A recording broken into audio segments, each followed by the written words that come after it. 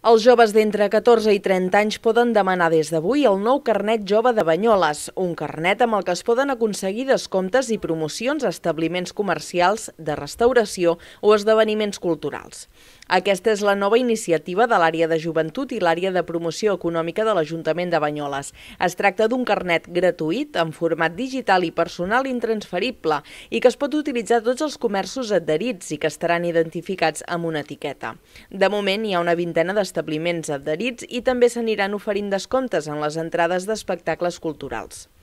La regidora de Promoció Econòmica i Turisme, Anna Taraf, ha explicat que amb aquest carnet es vol acostar el comerç de proximitat al públic més jove, ja que són un col·lectiu que utilitza molt el comerç en línia o les grans superfícies.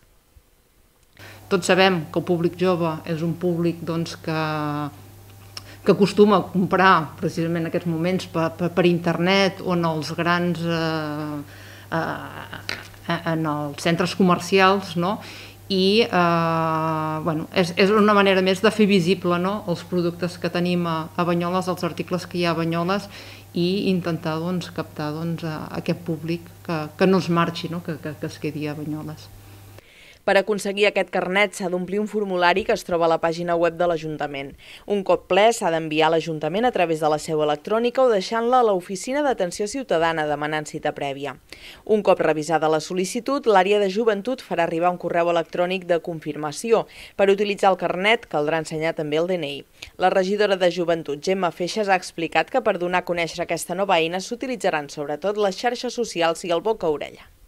Aquí creiem que hem d'apostar molt per les xarxes de l'oficina jove, que són eh, les xarxes que, que els joves més segueixen, i xarxes socials, Instagram sobretot, i, i alhora fer difusió a través de, dels grups que tenim estables de joves que participen activament. No? Hi ha algun grup, algun grup de delegats, algun grup de joves que participa més activament, doncs que ells també ens puguin servir de, de difusió d'aquest carnet.